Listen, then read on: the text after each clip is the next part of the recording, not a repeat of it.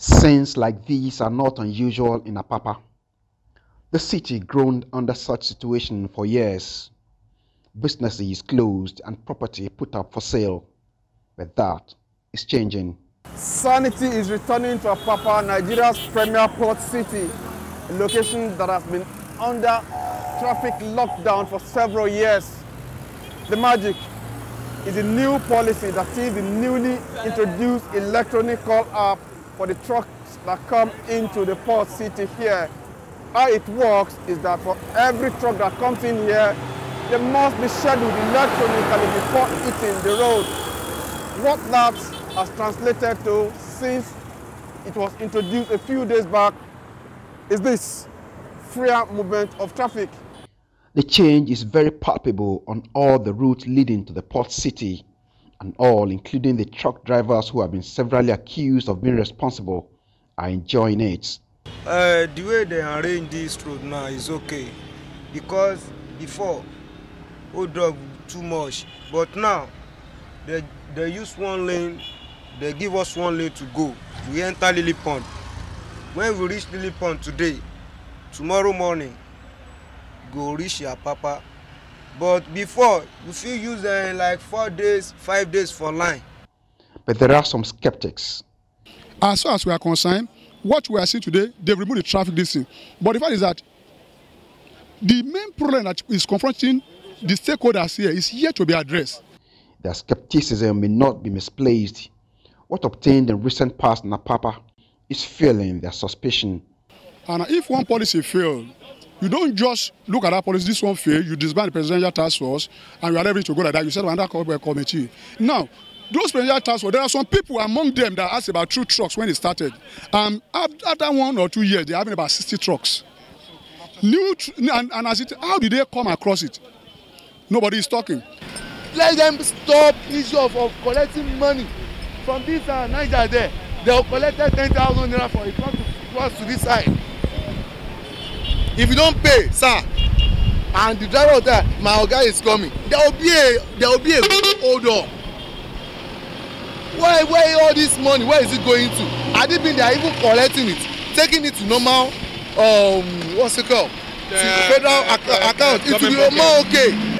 despite the new developments they have a lot bothering them about Apapa that they want to speak about including how they think corruption in high places is a major challenge, but officials are dismissing such fears, saying the new era which has introduced an e-call-up system takes care of all the factors that encourage corruption by limiting physical human contact in the daily conduct of port business. This is a this is a solution that has been curated between 2013 and 2020. And the reason why it took this long to curate is to ensure that it is sustainable. So both our investors and our founders have ensured that it is a system that is tested and then when it is deployed, it is, um, it is improved on as we go along. Between the time we uh, launched on Saturday and today, there have been a lot of improvements on the app based on the feedback from the users. And we have also been assured and reassured of the support of the state government and the Nigerian Ports Authority to ensure that the system is sustained.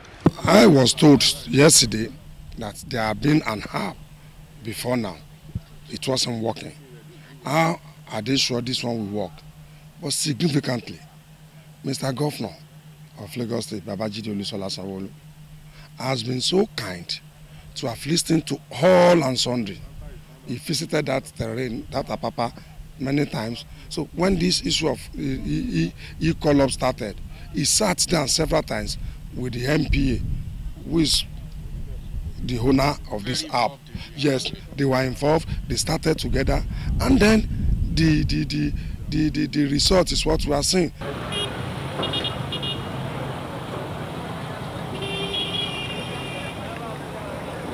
We're given an exclusive access into the control room at the Lily Pond terminal here in Apapa, where officials explained to me that with this screen, they can monitor the movement of every truck that comes into this axis and at the same time trucks coming from other terminals as well as frigates all in a bid to be able to monitor efficiently the newly introduced e-app and at the same time control the Apapa chaos.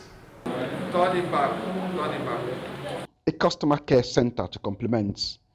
Though it is still being put together, it is from here for now that the app messages are sent out to the truck operators who then move to any of the designated parks for onward movement to the Lily Pond Park for a final clearance to access the Apapa ports. So immediately you've booked the parks, the only thing your driver needs to do is to be on the road.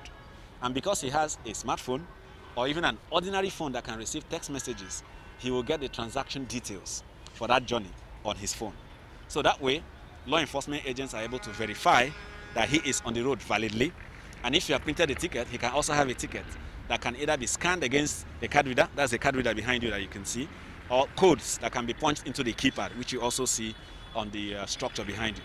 So this way, you are able to manage the movement of that truck and you can calculate the time it's going to take you to complete a particular haulage transaction. How many of those parks do we have? So far we have 10 approved parks. that 10. The Nigerian Port Authority has approved. All- satellite parks. All inside Lagos. Yes. There are some are along Ibadan Express, some are Outskirts. outskirts of Lagos. Okay. So those parts will be the one feeding Lily Pond. Okay. Lily Pond will feed the Lagos Port, which is Apapa Port. Okay. Some of those parts will now feed MOB. MOB is like Lily Pond. Without looking far around, you will feel and see excitement, but it is one with a mixture of stated and suppressed expression of uncertainty of what lies ahead, because in the unspoken words of many here, those profiting from the chaos who have been openly lamenting the new development will bounce back and most likely with a better strategy. But for that category of people, the governor of Lagos State has a word. We know that they want to attempt to fight back.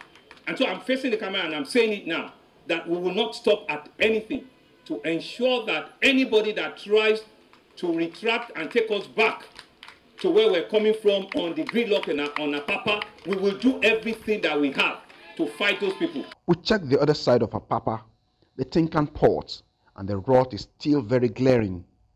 Although the traffic situation is equally easing off and is significantly improved, a lot we noticed still needs to be done as businesses are still conducted the old way. I come from Abuja, which is from Tribal. So they are fighting us for my two. Before then arrest to passing us come Tinkan or Apapa. So me when I dey here, they don already collect my money, pass me carry me come here From where? from my two sides. When? Any truck in over two week abi three weeks sef I don forget. I don dey here over two week and I dey in this express over four days getting to five days. After my owner give me two hundred thousand, I give one man here with police people wey dey pass trailer from my two year reach second gate. After they still collect my money, I still in here over this two week. Mr. Governor said it and he's still saying it. No money must exchange hand. The truckers are hearing, the drivers are hearing. Resist, resist any form of payment. Any form of, any form of extortion. Yes, I don't want to. Yes, any it extortion, gratification, resist it and let us know. Now they have spoken up. Maybe it is time for those in charge to engage more so that those who may be trying to take Apapa back to the old way do not have their way and succeed in proving skeptics of the new system right. Tokumbo Oyetuji, Arise News, Lagos.